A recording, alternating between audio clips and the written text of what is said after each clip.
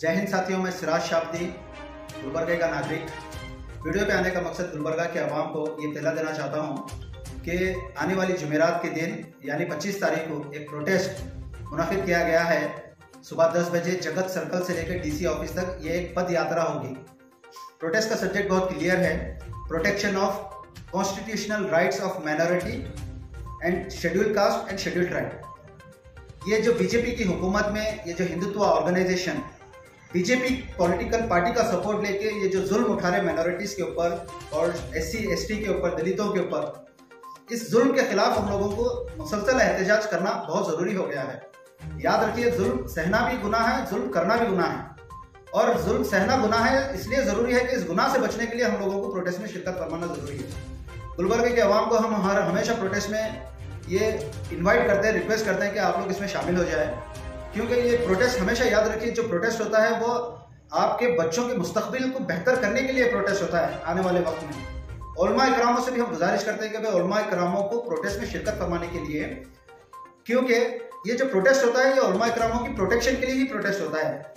ये जो प्रोटेस्ट करते हैं, कारोबार को बढ़ाने के लिए और कारोबार को, कारोबार ना होने के लिए इफ़ेक्ट ना होने की वजह से इसलिए प्रोटेस्ट किया जाता है। क्योंकि कारोबार का भी हम देख रहे हैं कि भाई गैर गाय के बिल गौ रक्षा के बिल में कॉस्ट लॉटर बिल के नाम पे आज कुरैशियों का कारोबार खत्म किया गया। हिंदू और मुस्लिम के जात धर्म के नाम पे, मुसलमानों से कारोबार नहीं करने के नाम पे कारोबार को रोका जा रहा कई जगह जुल्म उठाया जा रहा तो इस जुल्म के लिए हमको आवाज़ उठाना बहुत ज़रूरी है। गुलबर्गे के आवाम में गुजारिश करता हूँ, कारोबारी वालों से भी मैं गुजारिश करता हूँ कि ये जो प्रोटेस्ट हम कर रहे हैं पच्चीस तारीख को, ये प्रोटेस्ट में आप लोगों को आना बहुत ज़रूरी है, लाजिम है आप लोगों को आना। अगर आप लोग आएँगे तो गुलबर्गे में इतिहास हम बता सकते हैं। इस इतिहाद का मैसेज हम बीजेपी हुकूमत, स्टेट और सेंटर को हम दे सकते हैं। इस इतिहाद के ज़रिए से हम हमारे गुस्से को ज़ाहिर कर सकते हैं। इस इतिहाद के ज़रिए से हम हमारे आने वाले बच्चों के मुस्तबिल को सुधार सकते हैं। इसलिए बहुत ज़रूरी है हम लोगों को इतिहाद में आना और इस बीजेपी हुकूमत को इस हिंदुस्तान से निकालना बहुत ज़रूरी है। तो मैं आप तमाम लोगों से गुजारिश करता हूँ, ख़ास तौर पर वो गैर मुस्लिम जो एक सेक्युलर सोच रखते हैं जो इस बीजेपी की जो घटिया आइडियोलॉजी है, ये जो आरएसएस की आइडियोलॉजी के खिलाफ है तो वो लोगों से भी गुजारिश करता हूँ कि इस प्रोटेस्ट में शिरकत फरमाइए, क्योंकि आज ज़रूरी है हिंदुस्तान को अगर हमारे को बचाना है तो हमको एक इतिहाद में आकर ये जो राजनीति, जो घटिया राजनीति चली हिंदू मुसलमान को बांटने के नाम पे उसके खिलाफ तैरना है।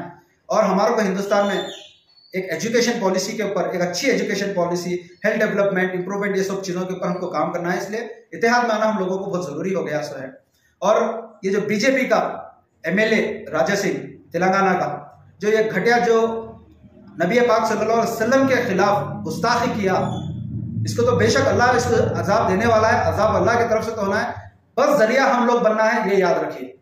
ऐसे राजा सिंह, ऐसे कई राजा सिंह आपको आज हिंदुस्तान में मिलेंगे।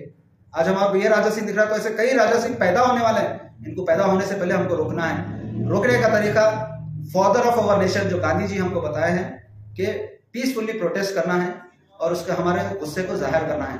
ये हमारे फंडामेंटल राइट्स है। तो हम फादर ऑफ़ अवर नेशन जो गांधी जी हमको जो बताए, वो रास्ते पे चलकर हम इंशाल्लाह इस प्रोटेस्ट करते रहेंगे, मुसलसल करते रहेंगे। जब तक हमारी जान भी अगर जाना है तो हम बराबर जान देंगे, मगर प्रोटेस्ट करते रहेंगे और लड़ते रहेंगे जुल्म के खिलाफ। और माइनॉरिटीज एस सी दलित, ये लोगों को प्रोटेक्ट करते रहेंगे इंशाल्लाह। आप लोगों से गुजारिश है कि हमारा साथ दीजिए। हम सब मिलकर इंशाल्लाह आने वाली पच्चीस तारीख के दिन इसको कामयाब करेंगे और ऐसे घटिया सियासतदानों को जड़ से मिटा